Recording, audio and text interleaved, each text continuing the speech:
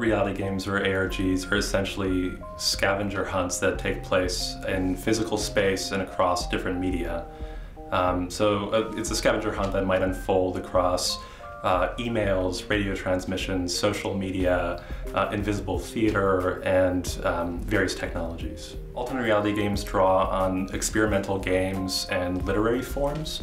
Uh, so some examples would be the New Games movement from the 1960s and 1970s, um, which tried to create games that were alternatives to well-known sports.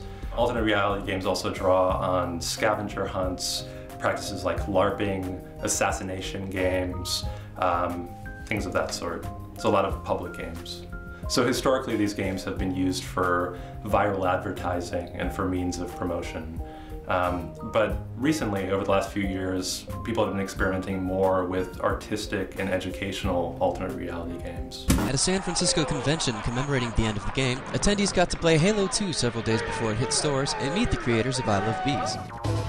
Welcome to the Global Extinction Awareness System.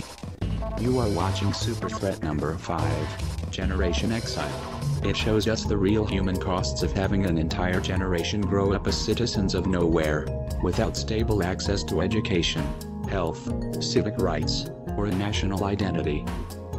How can we become better neighbors to the strangers who need us? Um, so we decided to use alternate reality games because they allow a greater degree of interplay between designers and players. Video games are very static and very good for rote memorization.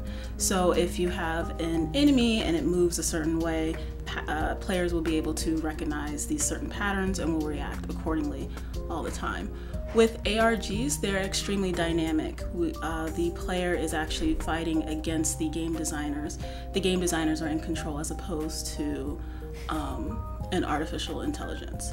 So with that, the game designers are able to adapt rapidly to the players. So this is more important for the process of learning as opposed to the final, you know, content, the end game. And so that's what ARGs are all about. The fact that the youth can do something completely different from what we intended, but it solves the problem. But maybe in a video game, only one solution works, and that's it. And if you don't get that one solution, it's over right? So ARGs are really good at allowing for multiple solutions, multiple types of learning, and multiple um, players to come together and really work through a challenge. We spend a great deal of time scripting out potential narratives and developing uh, media puzzles or uh, aesthetic components of our games, and then passing those along incrementally to the youth.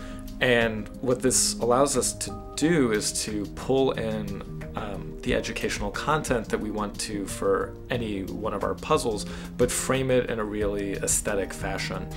And at the same time that we do all of this world building, uh, we really invite the players to become co creators in it and ask them to remix or even deconstruct what we've presented in front of them. And by inviting them to be co creators of the narrative, we are effectively inviting them to become co creators in their own learning.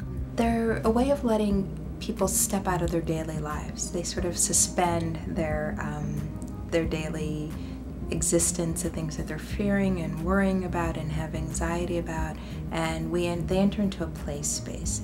We are really interested in their ability to imagine and their ability to take the, the game and the experience to a place that we didn't imagine. That that point of creativity is really important. Um, that's the difference between learning something and then applying what you've learned. So it's even another level of knowledge and understanding.